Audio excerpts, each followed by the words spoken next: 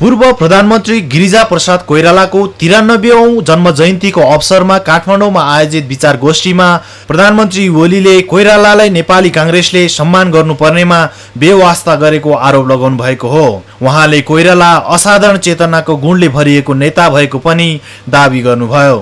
राजनैतिक दलको गठन विस्तार र सञ्चालनदेखि राजनैतिक दलहरू परिवर्तनका लागि हुनुपर्छ।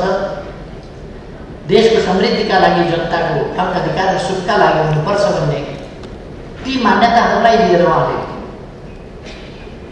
जीवनलाई सङ्घर्षको मैदानमा भएको थियो।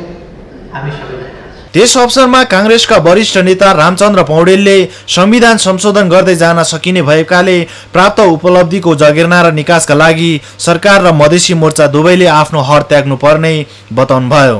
मधेसी मोर्चा भनौँ अथवा चाहिँ यो गठबन्धन के भनेर उहाँहरू आन्दोलन गरिरहनु भएको छ। उहाँहरूलाई पनि म के भन्न चाहन्छु भने उहाँहरूलाई ल्याउने सरकारको प्रयास हुनुपर्छ तर उहाँहरूको पनि चाहिँ आउने प्रयास पनि हुनुपर्छ।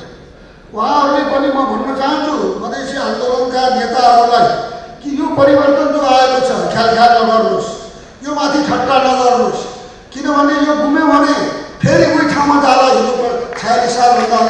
कार्यक्रममा फोरम लोकतान्त्रिकका अध्यक्ष समेत रहेका उपप्रधान तथा भौतिक योजना मन्त्री विजय कुमार गच्छदारले राष्ट्रिय हितका लागि र संविधान कार्यान्वयनका लागि राष्ट्रिय सहमतिको सरकार हुनुपर्ने बताउनुभयो।